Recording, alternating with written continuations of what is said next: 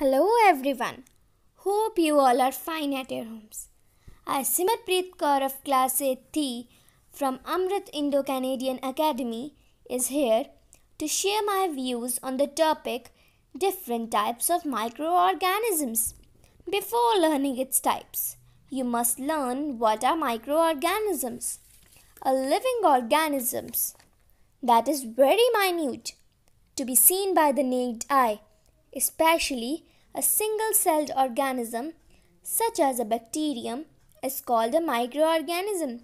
Microorganisms are classified into four major groups mainly bacteria, fungi, protozoa, and some algae. Some of the microorganisms are unicellular like bacteria, while some have well developed multicellular body like a mold. Now, let's come to our point. Come, let's go in detail with these four microbes. Number 1 Fungi. Fungi are non green plants. They cannot synthesize their food. They have to depend for their food on others. Most fungi take their food from the dead and organic matter. Number 2 Bacteria. Bacteria are single celled microorganisms.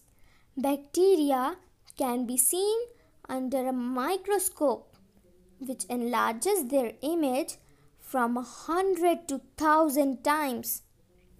Number 3 Algae.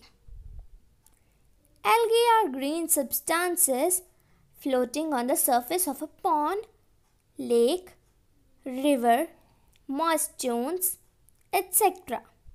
They can synthesize their own food. They are found in water or in very moist places. The fourth and the last one is protozoa. Protozoa are unicellular animals. Some are free living, others are parasites. Several parasitic protozoans cause diseases in human beings, domestic animals, and plants. Example is Plasmodium, a protozoan causes malaria.